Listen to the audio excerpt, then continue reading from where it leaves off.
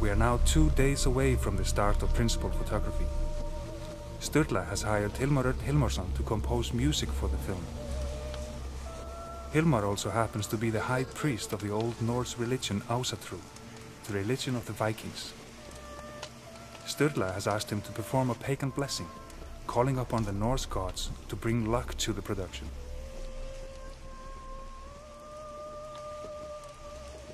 Right after the blessing, Sturla stumbles and falls and hits his head on the rocks.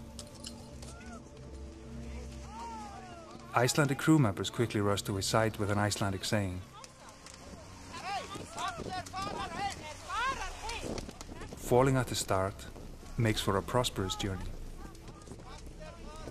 Two hours after the pagan blessing, the pagan priest himself slipped and fell and fractured two ribs.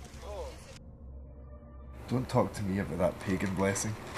Has anybody told you Ronan's comment about the pagan blessing? when Hilmar was looking through his book of blessings and went, Oh.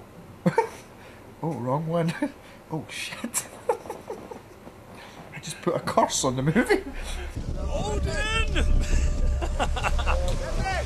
That night, without telling the producers, Captain Gunnar puts the ship back on the trailer, tilts it at some precise angle that he has worked out, and heads across the bridge. It takes three hours and nine tries, but somehow he manages to take the ship across, with less than one inch to spare on each side.